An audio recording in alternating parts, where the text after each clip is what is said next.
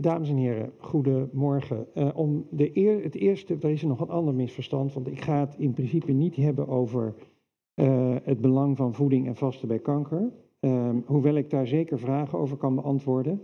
Waar ik met u over wil praten het komende uh, kleine uurtje is de pandemie van chronische ziekte, waar kanker er één van is, waar wij mee te maken hebben. We hebben allemaal hebben het voortdurend over de COVID uh, pandemie, maar er is al veel langer een hele andere pandemie in onze samenleving, waar ik zo meteen uh, een plaatje van zal laten zien. Namelijk van niet uh, chronische, niet overdraagbare ziekten, waarvan kanker er één is. En die pandemie, dat is wat ik met u wil bespreken. Waar komt die pandemie nou vandaan? En um, hoe uh, kunnen we, is, is dat een pandemie die eigenlijk wel nodig is, dat die er überhaupt is? En wat kunnen we dus uh, mogelijk doen om uh, die pandemie te uh, voorkomen? Om iets aan chronische aandoeningen te doen, die, als je die eenmaal hebt. En dan komen we dus vanzelf uit bij wat weten we op dit moment nou van wat is gezond leven? Wat, uh, en dat geldt ook voor uh, mensen met kanker. Daar kunnen we dus zeker, uh, als daar vragen over zijn, straks iets over zeggen. Maar ik wil het dus een veel meer algemeen verhaal maken, omdat ik denk dat dat voor, um, ja, voor, de, voor de samenleving eigenlijk nog belangrijker is dan, dan kanker, wat een heel groot probleem is uiteraard uh, in, de, uh, in de samenleving. Maar het is maar één van de vele. Wat u, wat u hier ziet, is een, um, het zijn getallen van het Centraal Bureau voor de Statistiek uit uh, 2018. En uh, wat u hier ziet, is, dat is het percentage van de Nederlandse bevolking met één of meer chronische ziekte. En die chronische ziekte, dat, daar heb ik het over nou, kanker, maar ook over diabetes, over hart- en vaatziekten, over depressie, over astma, over uh, ontstekingen van de darm, dus uh, chronische ziekte in, het al, in de breedste zin. En ik vind dit plaatje iedere keer weer, als ik het laat zien, vind ik het een indrukwekkend plaatje. Want het, in de, in de, het, laat zien dat wij worden massaal ziek in dit land. En niet alleen in Nederland, maar dat is eigenlijk in alle, zeg maar eventjes, westerse uh, ontwikkelde, zogenaamde ontwikkelde landen, worden we massaal ziek. Dus als, uh, als we kijken boven de 65 jaar, want het gaat naar leeftijd en naar geslacht. Boven de 65 jaar heeft ongeveer 80% van de Nederlanders heeft één of meer chronische aandoeningen. En er is nog iets anders wat u in dit plaatje kan zien en wat u waarschijnlijk helemaal niet zal verbazen. Als we ouder worden, neemt dat percentage mensen met een chronische ziekte toe. En nou is het heel vaak, ik hoor heel vaak het verhaal Uh, ja, zie je maar, dit, als we oud worden, worden we ziek. Die, uh, die ziektepandemie waar we mee te maken hebben, die komt door de vergrijzing. Die komt omdat we met z'n allen ouder worden. En dat is echt een misperceptie. En dat zal ik u um, laten zien. We weten wel dat het verouderingsproces betrokken is. Want het veroudering wordt gedreven, denken we, door uh, celschade. Wij lopen allemaal in de loop van ons leven onvermijdelijk schade in onze cellen op. Dat komt door, voor een belangrijk deel, door onze stofwisseling. Bij de stofwisseling komen uh, zogenaamde vrije radicalen vrij. Dat zijn zuurstofmoleculen en die gaan binden aan allerlei uh, andere moleculen in onze cellen. En dat beschadigt die cellen. En dat is een onvermijdelijk proces. Dat hoort bij onze stofwisseling. Dus dan zijn er nog meer dingen waar we schade van oplopen. Bijvoorbeeld van straling van buiten, van radioactieve straling en van zonnestraling. We krijgen via ons eten krijgen we van allerlei dingen binnen die uh, schadelijk zijn voor, voor onze cellen. Kunnen we eigenlijk niet voorkomen. Dus celschade is onvermijdelijk. En die celschade die leidt uiteindelijk natuurlijk tot ziekte. En die celschade doet nog iets anders, um, want die activeert ons afweersysteem. En dat is ook eigenlijk een heel, dat is heel normaal, dat hoort. Want het afweersysteem kunnen we op twee manieren, kan dat geactiveerd raken. Het kan of door um, pathogenen, dat zijn uh, bacteriën en virussen. En als een cel, als daar een virus in komt, dan gaat die zogenaamde PAMPs maken, Pathogen Associated Molecular Patterns. En die, dat zijn stoffen die activeren ons uh, immuunsysteem. Maar er is nog een andere manier om dat immuunsysteem te activeren en dat is via zogenaamde DAMPs. En dat is Damage Associated Molecular Patterns. Dat zijn stoffen die komen vrij als de cel beschadigd raakt, bijvoorbeeld door die uh, vrije radicalen. En die stoffen die, die maken dat het immuunsysteem actief wordt, dat er een ontstekingsreactie volgt. En dat is heel normaal, dat is eigenlijk wenselijk, omdat ontsteking bedoeld is om schade te herstellen. Maar um, nou wil het zo in dat verouderingsproces, die celschade die blijft maar komen. Want we hebben natuurlijk elke dag die stofwisseling en we hebben elke dag straling van buiten. Dus dat wordt op een bepaald moment een chronisch ontstekingsproces. En dat hebben we in de wetenschap, heeft dat um, uh, een, een naam, het ontstekingsproces dat wij allemaal hebben als we verouderen. Dat heet uh, inflammaging. Inflammatie is een, uh, een, biologisch woord voor ontsteking. Inflammaging.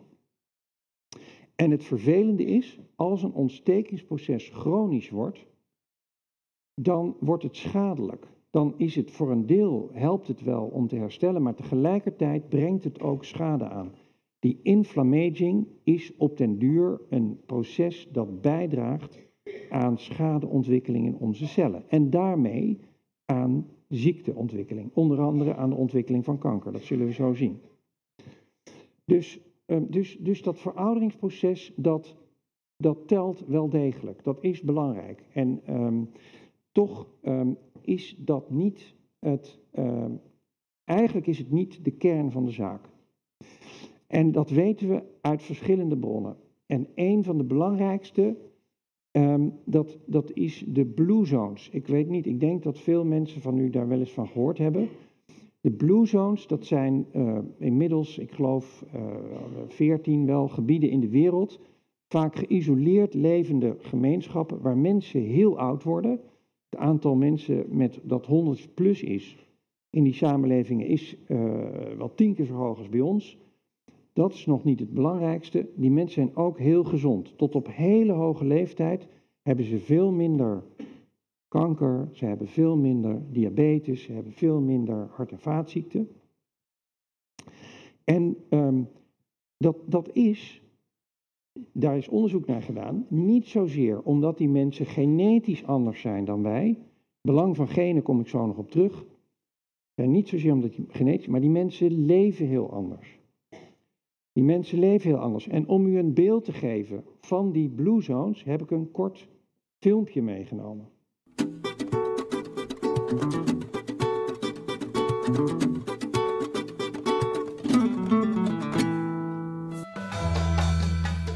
living to 100 is a popularity contest after all. In 2006, during Blue Zone's first visit to Costa Rica, we met 99 year old Panchita. In America, only one in seven women over 100 can even take care of themselves. Panchita not only lives alone, she splits log and clears the bush with an enormous machete. And last November, when she turned 100, the entire village celebrated with her.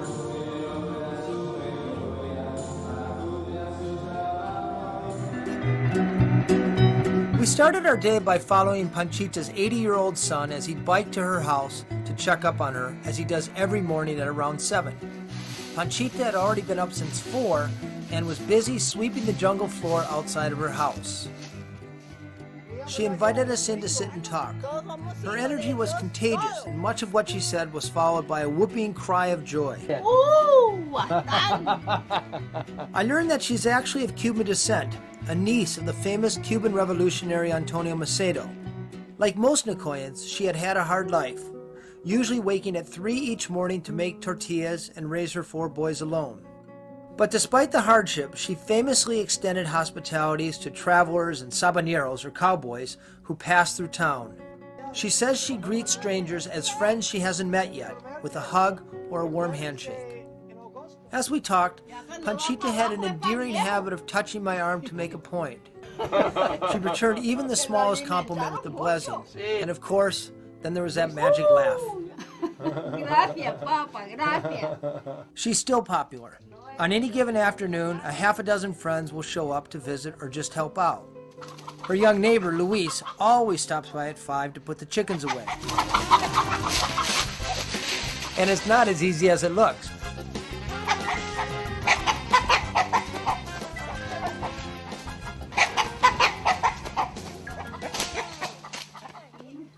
Panchita headed into her kitchen. She stoked her fogon, the traditional chorotego clay oven, fried eggs, seasoned her beans with garlic and onions, and then cut fresh cheese.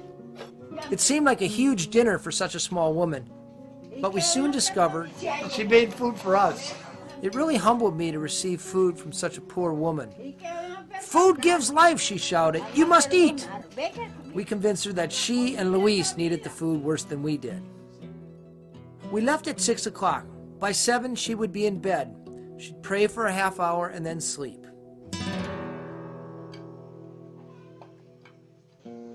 I've interviewed more than 200 centenarians on four continents, and one of the characteristics common to all of them is that they're all very likable people. They're interested and interesting. They possess compassion and an ability to laugh. I don't know if they are born with this quality or learn it, but it is clearly tied to their longevity. One Harvard study, in fact, shows that seniors with strong social connections are three times more likely to live another decade than loners are. There's a saying in Nicoya the richest man is the one who needs least. Panchita's wealth comes from giving from the heart, and the people drawn to her generosity and spirit. caminito.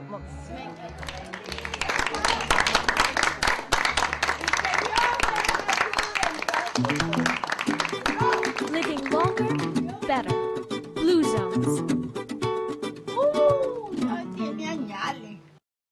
Ja, u, u, ik, ik hoop dat u ehm, de indruk hebt gekregen dat de samenleving waar Panchita in leeft, is totaal anders dan die van ons. En eh, het is die samenleving die maakt dat zij zo vitaal is en dat zij zo gezond is. Ehm, en daar zijn heel veel aanwijzingen voor. De, een andere groep ehm, die goed is onderzocht, dat zijn de Tsimane. De Tsimane, dat is een groep jager-verzamelaars die nu nog in Bolivia nog steeds leeft. En dit is een beetje een ingewikkeld plaatje, maar ik ga u er mee doorheen nemen.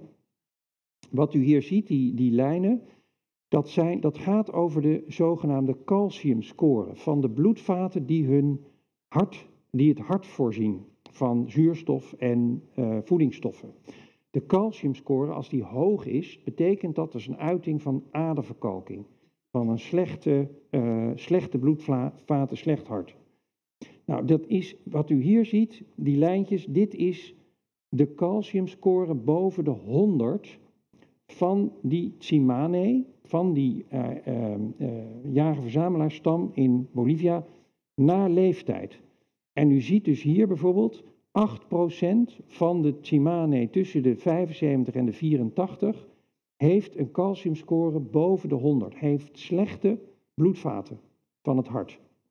Deze rode lijn is een Amerikaanse groep mensen. En u ziet tussen de 75 en 84 jaar heeft maar liefst 50% van de Amerikanen heeft hele slechte bloedvaten van het hart. Deze twee andere lijntjes, dat zijn cal- dat gaat over calciumscores van nul.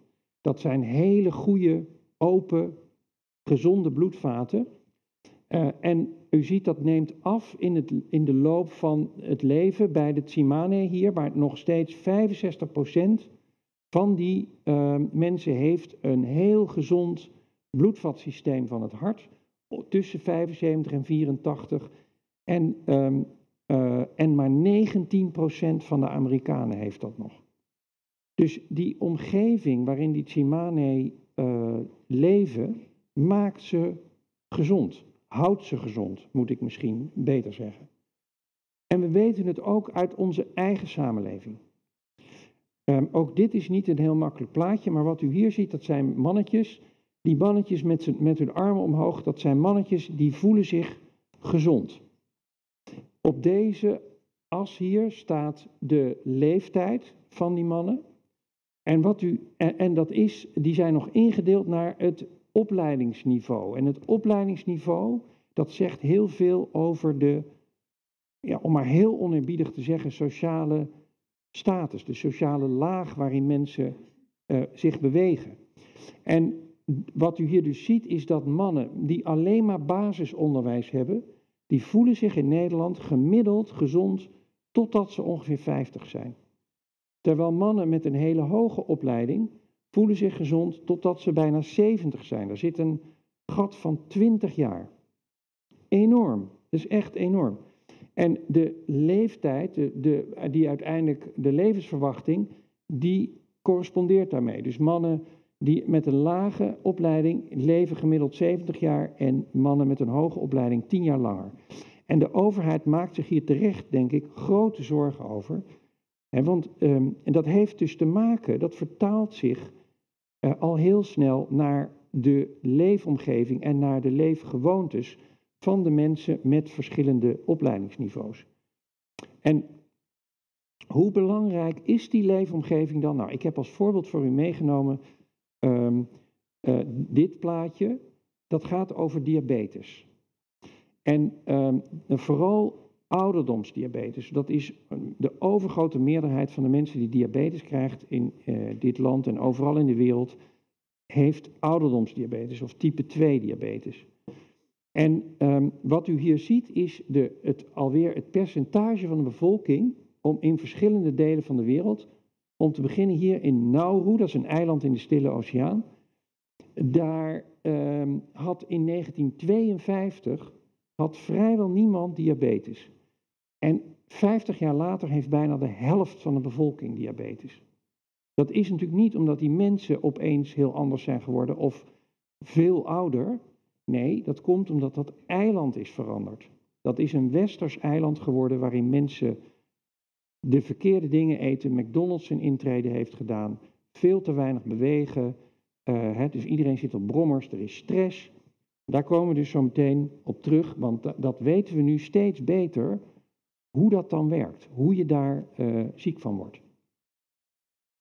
Want wat weten we van bijvoorbeeld een ziekte als kanker, maar dat geldt eigenlijk precies hetzelfde voor hart- en vaatziekten, voor eh, diabetes, voor depressie. Dat zijn allemaal chronische, niet overdraagbare aandoeningen en die hebben te maken met het verouderingsproces, daar zijn we mee begonnen. Nou, dat verouderingsproces, dat hebben wij allemaal en toch krijgen we niet allemaal dezelfde ziekte. En dat ligt waarschijnlijk aan het genenpakket wat je bij je draagt. Dus dat verouderingsproces, dat gaat gepaard met celschade, dat gaat weer gepaard met ontsteking. En dat is voor iedereen slecht, maar niet iedereen krijgt dezelfde ziekte. En dat wordt bepaald door de genen. Welke ziekte je krijgt, wordt bepaald door de genen die je bijdraagt. En nou is dat verouderingsproces dus zeker niet het enige wat hier een rol speelt. Er zijn tenminste zeven factoren in onze samenleving, in onze manier van leven, die een cruciale rol spelen en die eigenlijk als het ware het verouderingsproces versnellen en ziekte eh, met zich meebrengen. Van links boven tegen de klok in, chronische stress, een factor van belang, zeker ook bij kanker. Ehm, we bewegen veel te weinig. Wat u hier doet vandaag is niet goed voor u. We roken. We slapen te kort. Dat heeft ook weer te maken met die stress. Tekort en slechte kwaliteit slaap vaak is niet goed voor ons. We gebruiken alcohol. Er zijn toxines, giftige stoffen overal om ons heen. We ademen ze in, maar we krijgen ze ook door onze huid binnen. En we eten ze op zonder dat we het uh, weten. En tot slot eten we te veel van de verkeerde dingen. En um, Ik wil vooral iets zeggen over die voeding. Dat, wat niet betekent dat de andere factoren onbelangrijk zijn, want ze zijn echt allemaal belangrijk, ze dragen allemaal bij. Maar voeding is wel een hele belangrijke. Ik denk dat heel weinig mensen van u zich beseffen dat elke keer als u wat eet, volgt er een ontstekingsreactie. Iedere keer als u een maaltijd eet of een wat dan ook eet, is er een ontstekingsreactie. En die ontstekingsreactie die hangt samen met bijvoorbeeld de vertering van ehm, wat u hebt, net hebt gegeten. Daar, dat kost allemaal energie en dan krijg je die, die, die eh, generatie van energie gaat gepaard met het vrijkomen van die vrije radicalen, die beschadigen en die geven ontsteking. Elke keer als u eet. Maar het maakt ontzettend veel uit wat u eet. En als ik, ik zeg één ding tegen mijn patiënten, als het om eten gaat, wat is dan het allerbelangrijkste? Dan zeg ik altijd, vermijd industrieel geproduceerd voedsel. Vermijd dingen die door de industrie gemaakt worden, die samengesteld zijn op een onnatuurlijke manier, die dus niet bedoeld zijn. Op zich, alle componenten zijn wel eetbaar, maar er worden van allerlei dingen bij elkaar gestopt en dat is niet goed voor ons. Dat geeft een sterke ontstekingsreactie. En wat zijn dan de dingen die niet goed zijn in industrieel geproduceerd voedsel? In de eerste plaats, de industrie doet overal palmitinezuur in. Palmitinezuur is een vetzuur, ehm, een verzadigd vetzuur. U weet waarschijnlijk allemaal wel dat eh, al jaren wordt geroepen dat verzadigd vet slecht voor ons is. Dat verhaal is echt voor een belangrijk deel achterhaald. We weten nu, verzadigd vet is niet één stof, dat is een verzamelnaam van een heleboel vetzuren. Sommige van die verzadigde vetzuren zijn juist goed voor ons, kom ik zo meteen nog even op terug. En andere zijn slecht. En palmitinezuur is echt een onomstreden, denk ik, slecht vetzuur voor ons. Nou, dat palmitinezuur dat wordt door de industrie gebruikt in het productieproces. Dat wordt bijna overal ingestopt en dat activeert ons immuunsysteem. Dat activeert, geeft inflammatie. Eigenlijk direct via, zal ik zo een plaatje van laten zien, activatie van bepaalde gevoelsprieten op cellen. Dan zit er heel veel suiker in en zetmeel. De basis van onze voeding in dit land, sinds de komst van de landbouw 10.000 jaar geleden, is zetmeel. En zetmeel is niks anders dan hele lange ketens van glucosemoleculen, die gesplitst worden in je darm in glucose. Krijg je hoge glucosepieken van, krijgen we allemaal in ons bloed. En glucose in hoge concentratie is toxisch. Suiker of zetmeel zijn niet toxisch. Als je het matig eet, is het een heel belangrijke brandstof. Maar in de hoeveelheden die wij het in onze samenleving eten, het zit in brood, in pasta, in rijst en in ehm, aardappelen, dat is eigenlijk de basis van onze voeding, kun je zeggen, is het gewoon toxisch. En ehm, ik zal zo laten zien waarom. En dan tot slot stoppen, stopt de industrie er allemaal stoffen in die ook alweer ons immuunsysteem activeren. Dus hoe meer industrieel geproduceerd voedsel je eet, hoe hoger, hoe ernstiger die inflammatoire, die ontstekingsreactie is na het eten. En als je dat dus maar weer elke dag doet, drie keer per dag, of sommige mensen eten zelfs zeven of acht keer per dag, ja, dan krijg je een chronisch ontstekingsproces. En we hebben al gezegd, chronische ontsteking is slecht voor ons. Beschadigt onze cellen, geeft ziekte op termijn. En wat zit er dan niet in dat industriële voedsel, wat je juist wel nodig hebt? In de eerste plaats vezels. Dat zit er heel weinig in. En vezels zijn essentieel voor onze gezondheid. Ik zal zo laten zien waarom, want vezels voeden onze bacteriën in onze darm. En die bacteriën in onze darm spelen een superbelangrijke rol eh, in onze gezondheid. Nou, dat mist in bijna alle industrieel geproduceerde voedsel. Er zitten veel te weinig vitamines en mineralen in. En er zitten veel te weinig. En die vitamines en mineralen spelen ook als antioxidanten een rol. Dat zijn stoffen die die oxidatieve stress van die zuurstofmoleculen die vrijkomen bij de verbranding van stoffen, waar die schadelijke zuurstofmoleculen, antioxidanten dempen het effect daarvan. Die heb je hard nodig, omdat die schade, die maar elke dag maar weer in je lijf gaande is, om dat te dempen. Dus industrieel geproduceerd voedsel is niet goed. Nou, hier ziet u nog eventjes dat palmitaat, dat bindt, dit is een cel, uh, de, de, de, uh, hoe noem je dat? De celmembraan, dus de, de grens van een cel waar uh, op zitten en palmitaat bindt aan die voelsprieten, die zitten op immuuncellen en dat activeert via een heel ingewikkeld proces, activeert dat het immuunsysteem. Dus veel palmitaat eten krijg je een chronisch ontstekingsproces van. En suiker doet dat op een hele andere manier. Als we hoge suikerpieken krijgen in ons bloed, glucosepieken, dan gaat de glucose gaat de cel in en dat wordt verbrand. En bij die verbranding komen die reactive oxygen species, of die vrije radicalen komen vrij. En die vrije radicalen die beschadigen dus uh, cellen, hebben we al een paar keer gezegd, en dat activeert het immuunsysteem. Nou, dus om dat nog te illustreren, wil ik u laten zien, hebben ze een interessant experiment gedaan, hebben ze een aantal gezonde mensen, jonge mensen, hebben ze een, een deze maaltijd gegeven. Nou, dat is een maaltijd waarvan u allemaal van wel her, zal herkennen. Dus niet echt gezond ziet dat eruit. Um, en um, hebben ze gemeten in het bloed, wat gebeurt er dan eigenlijk bij die mensen? En dat hebben ze gedaan met of zonder toegevoegde vezel. Hier zit heel weinig vezel in, bijna niks. Maar als je daar vezel bij neemt, hebben ze gekeken van wat gebeurt er dan met die reactie in het bloed. Nou, en, en wat, wat, u hier ziet is in de eerste plaats is de productie van die vrije radicalen, van die schadelijke stoffen na de maaltijd. In, bij, de, bij uh, één geval van de maaltijd alleen en hier hebben ze die vezels erbij gehad. En u ziet die vezels die dempen onmiddellijk die vorming van vrije radicalen, van schadelijke stoffen. Zullen we zo zien hoe dat gebeurt?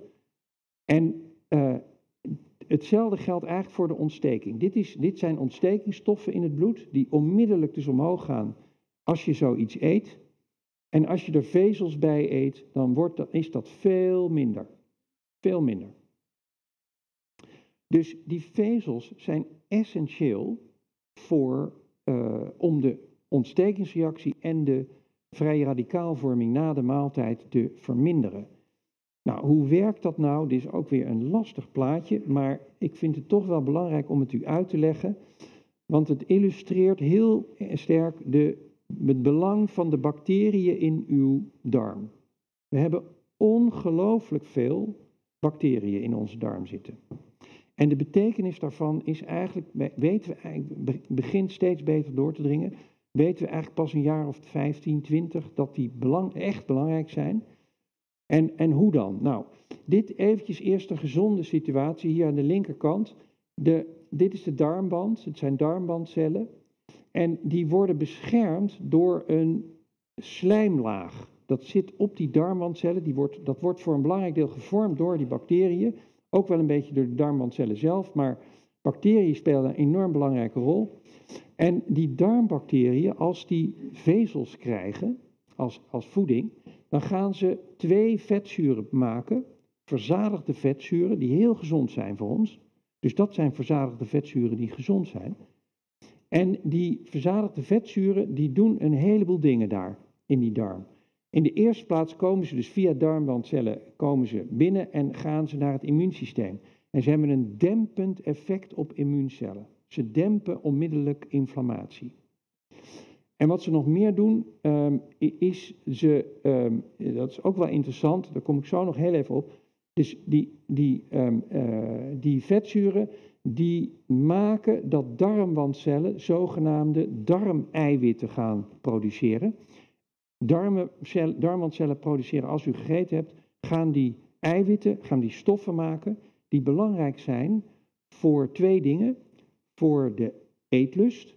Dus als u gegeten hebt, dan maakt de darm stoffen die naar uw hersenen gaan.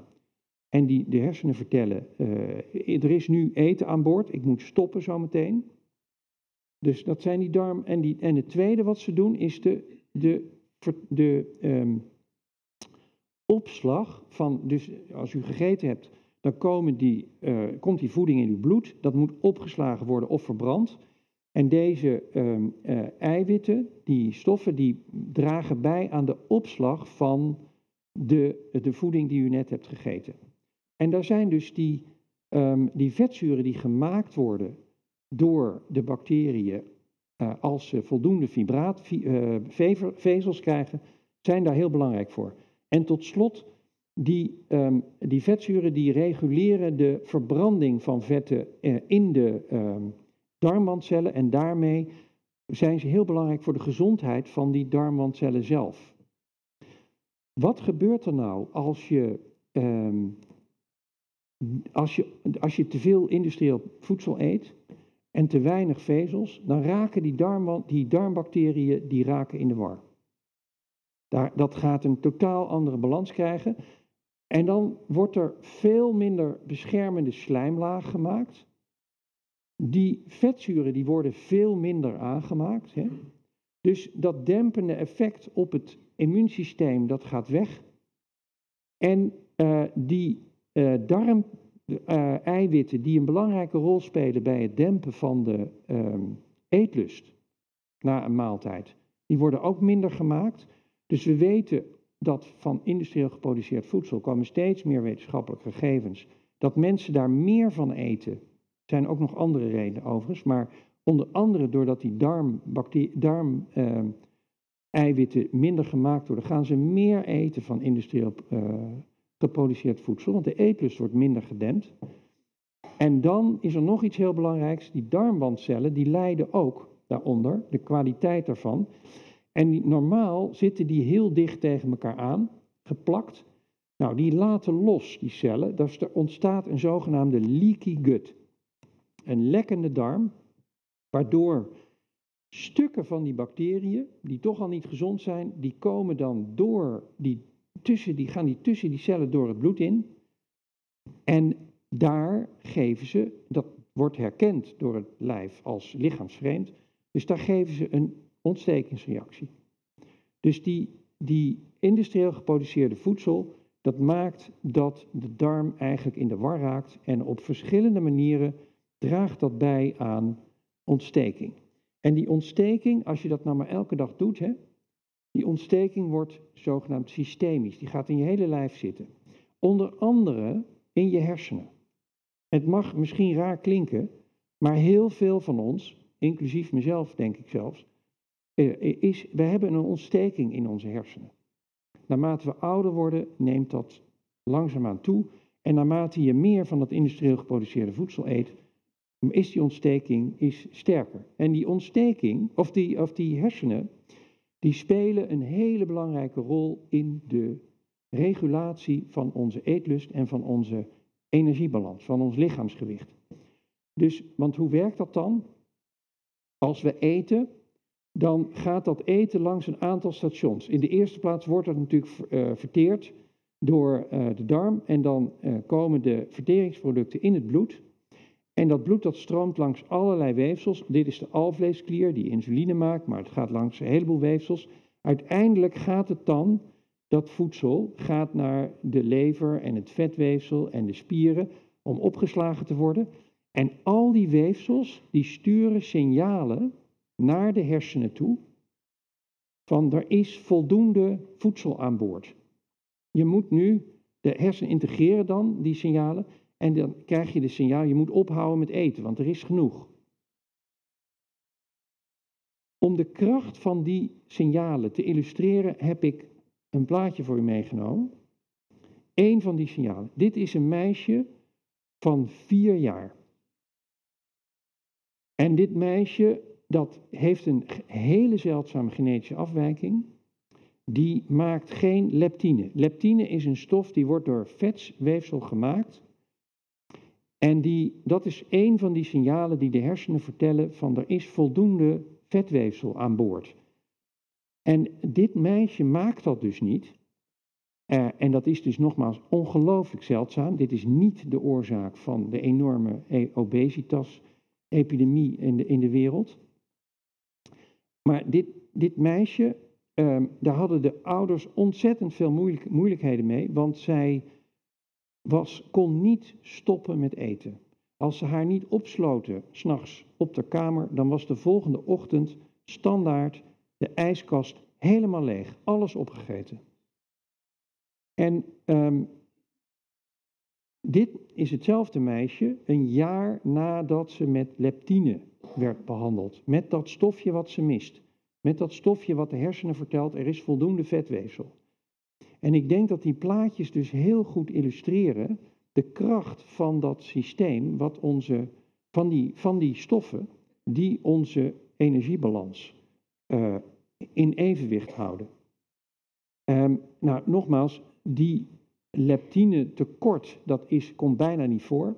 Maar wat, waarvan we denken dat een heel belangrijke onderliggende oorzaak is van de enorme hoeveelheid uh, mensen met obesitas in de, uh, onze samenleving, is dat die ontsteking in de hersenen, die wij dus heel veel hebben, die maakt de hersenen ongevoelig voor al die signalen.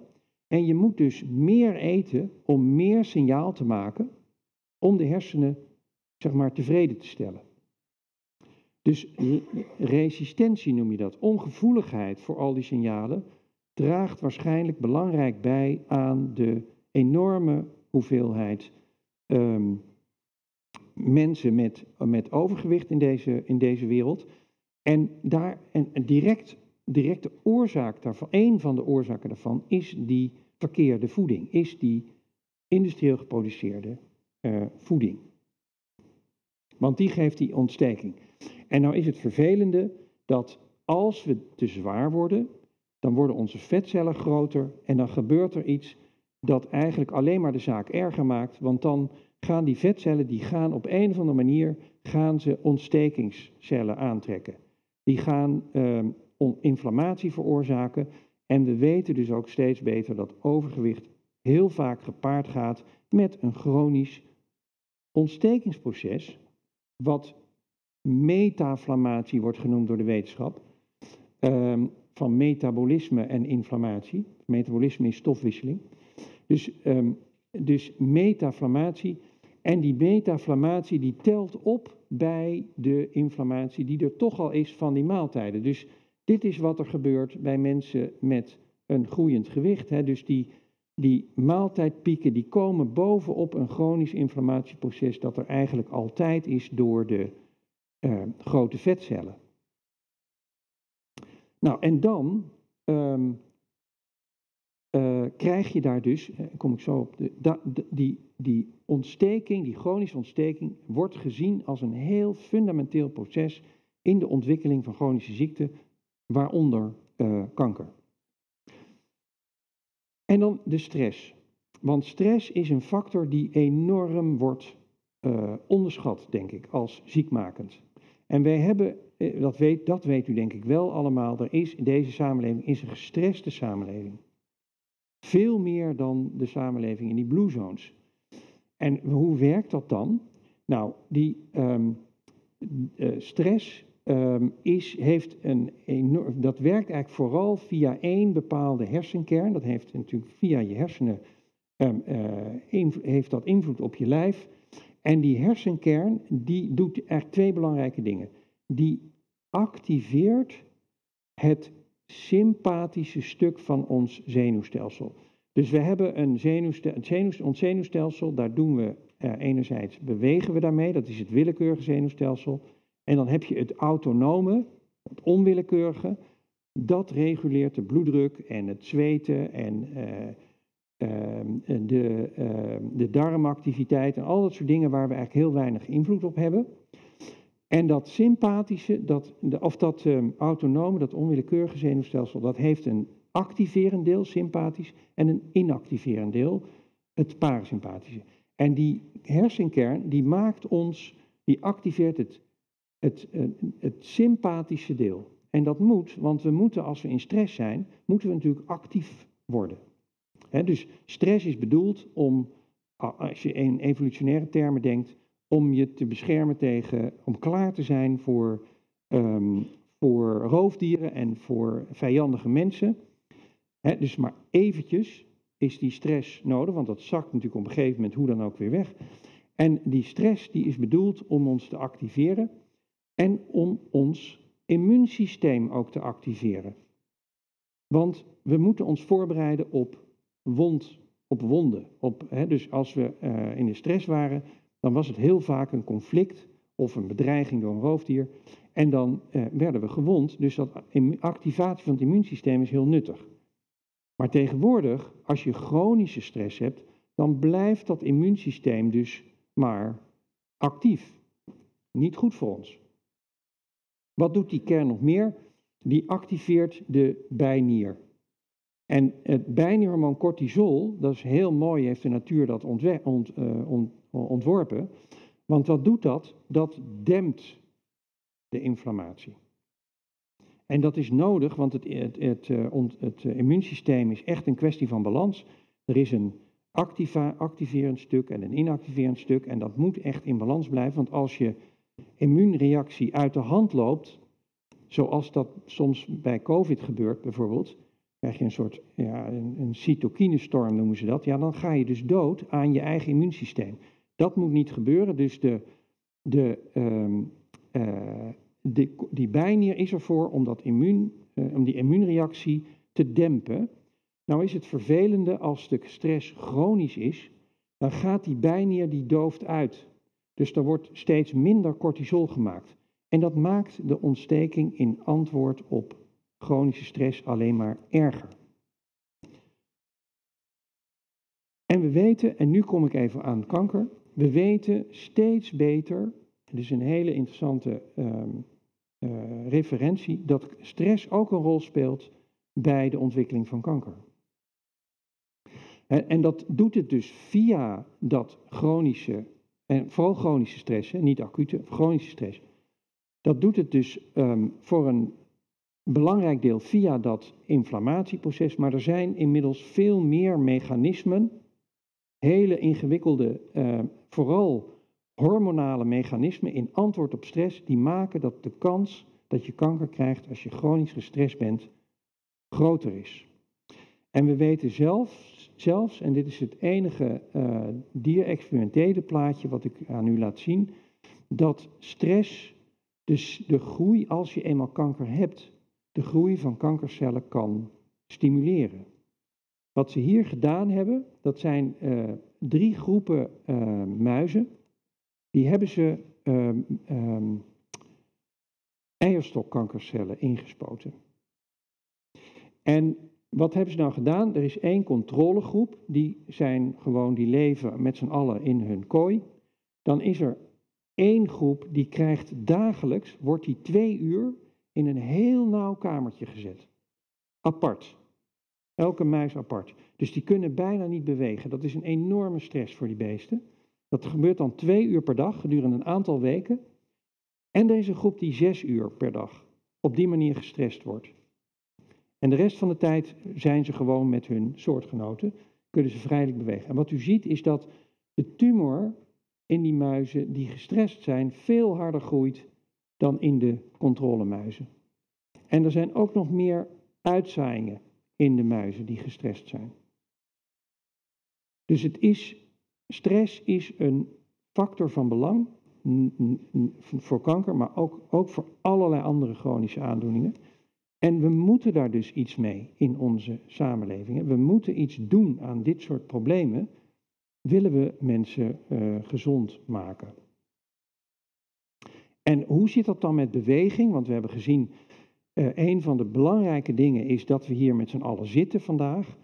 Um, waarom is dat nou slecht? Nou, het is, um, wat, wat beweging doet, is het dempt inflammatie. Als zodra u uw spieren gaat gebruiken, gaan die spieren stoffen maken die, het die de ontstekingsreactie dempen.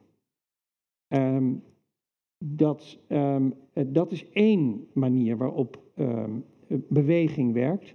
Een andere manier is dat het de, die gevoelsprieten die het immuunsysteem activeren, bijvoorbeeld in antwoord op palmitinezuur, omlaag brengen. Dus die, die cellen, die gaan, de, de, de, de mate waarin die cellen uh, die voelsprieten hebben, die gaat ontzettend omlaag, waardoor het immuunsysteem minder geactiveerd kan worden.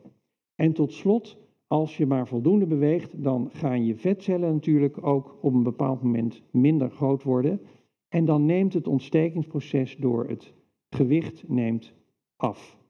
Dus, dus beweging um, dempt inflammatie langs verschillende wegen. En we hebben al gezegd, inflammatie wordt gezien als, uh, zeg maar zeggen, het fundamentele um, onderliggende proces dat heel veel chronische aandoeningen veroorzaakt. En um, onder andere dus uh, kanker is een hele belangrijke. En dit is eigenlijk waar we over hebben gesproken. Dus uh, dit is een heel mooi, voor de mensen die dat interesseert, een heel mooi overzichtsartikel. Um, dat beschrijft hoe ontsteking nou precies betrokken is bij al die uh, verschillende ziektes en welke factoren ontsteking in de hand werken. En hier in dit gedeelte ziet u alle leefstijlfactoren die tot een, een uh, systemisch chronisch inflammatieproces leiden. En dat systemische chronische inflammatieproces leidt dan vervolgens weer tot een heel scala aan chronische aandoeningen waar wij mee worstelen in de samenleving. En waar vooral ook alle individuele mensen die daarmee te maken krijgen mee worstelen. En dus we kunnen um, door het goede te doen als het gaat om onze leefstijl, de ziekteincidentie, uh, dus het voorkomen van ziekte, enorm verminderen. Dit zijn cijfers uit het tijdschrift Science van al twintig jaar geleden. En daarin wordt geschat dat uh, maar liefst 70% van de gevallen van dikke darmkanker als voorbeeld, hè, want het geldt eigenlijk voor bijna alle vormen van kanker, um, um, uh, uh, hoe heet het, beroertes, coronaire hartziekte of hartinfarcten en diabetes. 90% van de gevallen van type 2 diabetes kan naar schatting worden voorkomen door onze, ons leven anders in te richten. De laatste uh, 10 minuten en dan is er zeker wel tijd voor vragen, denk ik, wil ik besteden aan wat moet je dan eigenlijk, hoe moet je dat nou doen dan? Hoe moet je gezond uh, leven, voor zover wij nu zien. Dus dit is wat ik eigenlijk aan al mijn patiënten aanraad. En, um, en daar, die eerste regel hebben we uitvoerig besproken. Dus vermijd nou zoveel mogelijk industrieel geproduceerde voedingsmiddelen. Dat is voor heel veel mensen echt niet makkelijk. Want we, we weten dat ongeveer 50% van de, van de energie in Nederland wordt uh, geconsumeerd in de vorm van industrieel geproduceerd voedsel. De helft van onze calorieën krijgen we binnen op die manier, minstens. Dus groente en fruit moeten echt de basis zijn van onze dagelijkse uh, voeding. Daar zitten vezels in, daar zitten mineralen en uh, vitamines in die we hard nodig hebben om de schade in ons lijf te beperken en het, en het ontstekingsproces te dempen. En uh, dan zeg ik altijd, wees, echt vooral zuinig met geraffineerd zetmeel. Blijf daar van af, dus wit brood, witte rijst, witte pasta. Uh, dat zijn dingen, en, en aardappelen eigenlijk ook, daar moet je zo min mogelijk van gebruiken. Want het geeft je glucosepieken in je bloed en dat, dat maakt dat je uiteindelijk, als je dat maar lang genoeg doet, dat je ziek wordt. En dan dus gebruik altijd volkoren graanproducten als je die gebruikt. Daar zit wel zetmeel in, maar daar zitten ook vezels in. En daar zitten ook mineralen in, die eruit gehaald zijn met het raffinatieproces. Dus ongeraffineerd volkoren graan is, is denk ik, ook alweer in, met mate, is, uh, het net geldt met, over, voor alles wat ik hier zeg, met mate is gewoon, past in een gezond dieet. Net, oh, sorry, oh, oh, oh, oh. Net als, um, en dat is ook wel nieuw inzicht, volvette uh, melkproducten als je minder zetmeel mag eten en je wil toch wat eten, neem dan de volvette melkproducten. Er zijn echt geen aanwijzingen dat die slecht zijn voor onze gezondheid, wat mij betreft. En dan zijn vooral de gefermenteerde, dus yoghurt, kwark en kaas, die lijken zelfs te beschermen tegen ehm, hart- en vaatziekten en tegen diabetes. En waarom dat precies is, dat weten we nog niet, maar de epidemiologie suggereert dat heel sterk. Een handje ongezouten noten, of desnoods gezouten, er zit maar minimaal zout op, is echt gezond. Daar zitten veel vezels in en veel gezonde mineralen en, en vitamines. Echt, daar is ook is, is onderzoek naar, dat helpt gewoon voor de gezondheid. Tenminste twee keer per week vette vis dempt heel sterk de eh, inflammatie in ons. Matig vooral rood vlees. Dus rood vlees, ehm, eh, mensen zijn gemaakt om vlees te eten, daar ben ik van overtuigd. Maar in de hoeveelheden die wij het consumeren, dat is echt beyond belief. Dat is echt, echt niet goed voor ons. Mensen die elke dag vlees eten, rood vlees eten, die doen het niet goed voor hun gezondheid. Daar ben ik echt van overtuigd.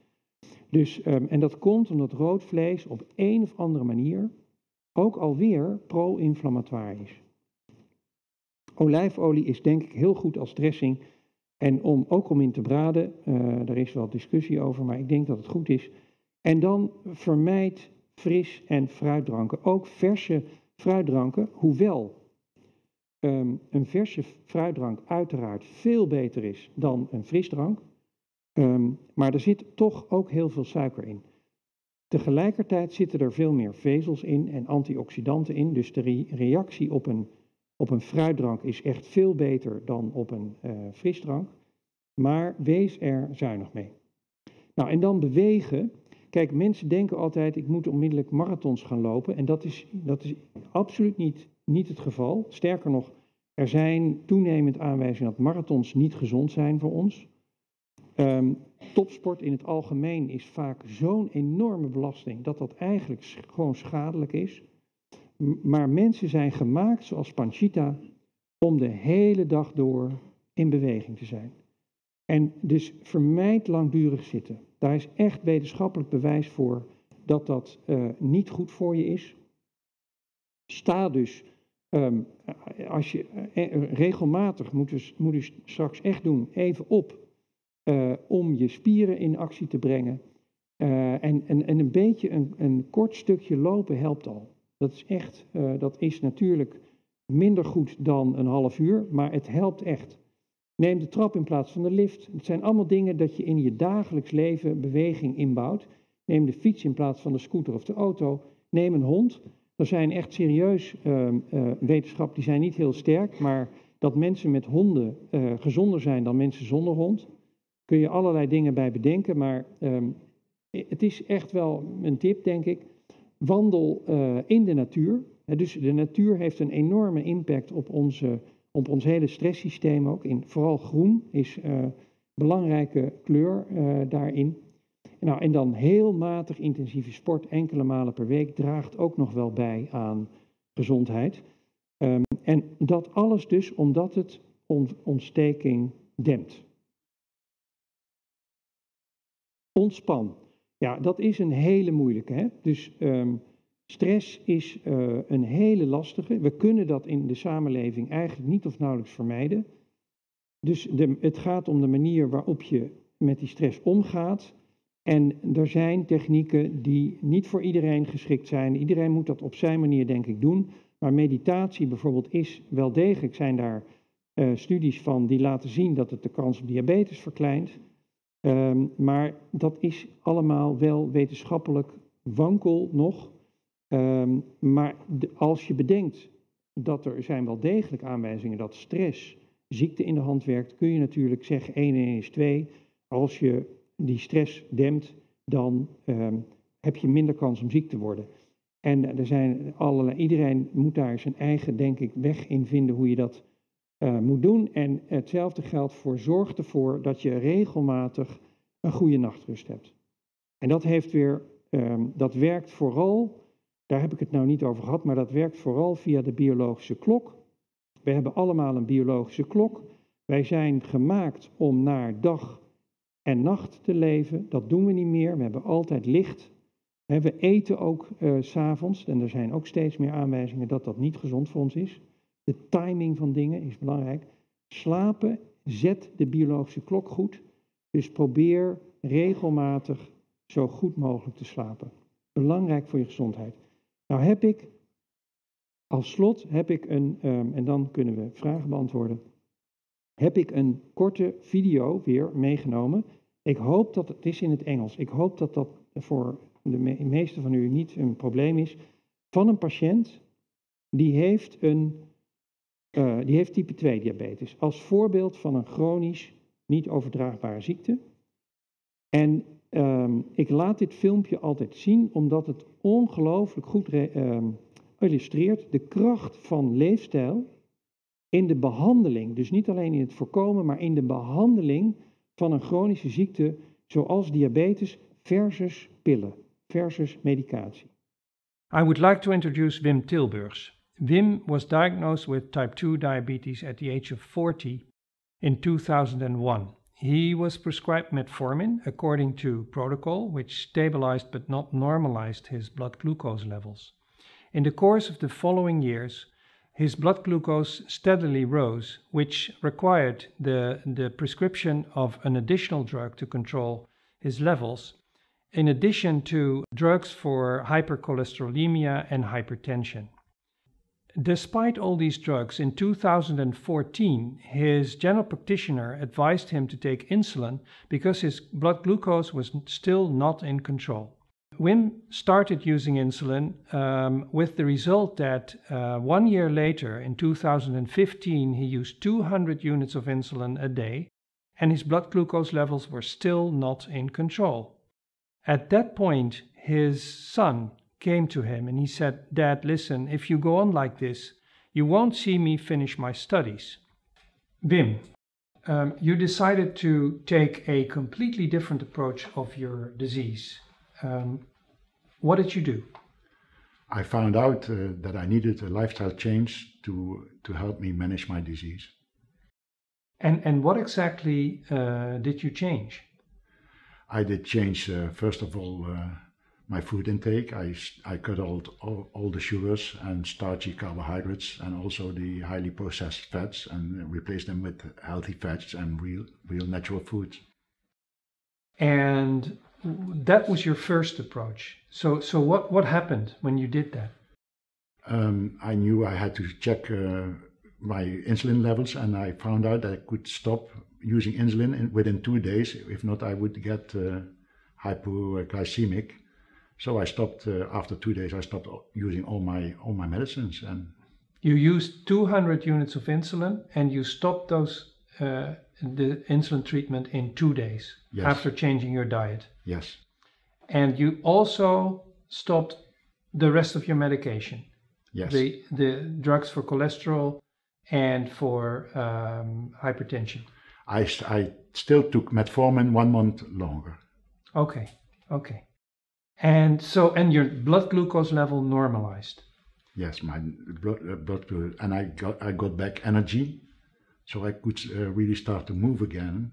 Okay, So I started to increase my physical activity. right. and with the increasing of the and i found out that i also got a better uh, day and night rhythm i started sleeping ear- earlier and ro- rose uh, so i also changed my my day and night rhythm Right. And what happened um, with your body weight? Yeah it was amazing i lost uh, the first month i lost 10 kilos and in five month times i lost uh, 40 kilograms of body weight i was in a weight since i, I had, didn't have this weight since i was 25 And how did you feel? I felt reborn. I, fe- I, I still do feel that this way. I felt 30 years younger. I, I was energy. I, I, I had, it was like a fog going out of my brain. Had, like the sky, it, it cleared and yeah, Right. And this is so. This is uh, approximately three years ago. How are you now? I'm still uh, three years now without any medications. My HbA1c is still uh, under, is around 5%. And yeah, I'm, I'm cured more or less. I, yeah. You don't take any drug. I don't take any drugs. I sport all day. I, I feel 30 years younger. I I am reborn. It's it's like a miracle. That's really great. So, and what did you actually miss in the office of your general practitioner? What? Why didn't it happen uh, earlier? Um, he was not aware that uh, of any lifestyle protocol. He, he, he never studied this kind of uh, lifestyle treatment. He just uh, studied uh, what kind of uh, diagnose with with medications he should give. That what what's the protocol. Uh, lifestyle was not in his vocabulary. Wim, I would like to thank you very much for this interview. You're welcome. Ja, dus dit is Wim voorafgaande aan, de, ehm, aan zijn leefstijlverandering. En dit is zijn vrouw. En dat is Wim daarna. En zijn vrouw, die heeft meegedaan. En ehm, interessant om te vermelden, denk ik, zijn vrouw heeft reuma. Hier gebruikt ze zogenaamde biologicals, dat zijn vrij heftige medicijnen voor reuma. En hier gebruikt ze niks meer. We weten steeds beter dat ook reuma een ziekte is die goed kan reageren op uh, leefstijlinterventie. Uh, het dempt de inflammatie in de, in de gewrichten. En um, ja, Wim is, Wim is een ander mens. En hij is nu zes jaar nadat hij dat initiatief genomen heeft. En hij voelt zich nog steeds top. Hij is zonder enig medicijn. En u moet zich bedenken, tot, nou ja, vijf, zes, zeven jaar geleden leerden wij op onze congressen als dokter, diabetes is een chronisch progressieve aandoening waar je steeds meer medicijnen voor nodig hebt. En dat was ook zo in de klinische praktijk. Maar je ziet maar weer wat mensen zelf kunnen doen om, um, uh, om hun ziekte beter te maken. En dit is eigenlijk wat ik met u wilde delen. En dan kan ik me voorstellen dat er hier vragen over zijn, maar misschien ook wel over uh, het werk wat wij doen aan, uh, aan vasten bij kanker. Dat is, ik heb daar nu niet over verteld, want dat is echt nog wel in een, in een, in een vroeg stadium, denk ik. Maar uh, er zijn zeker veelbelovende ontwikkelingen.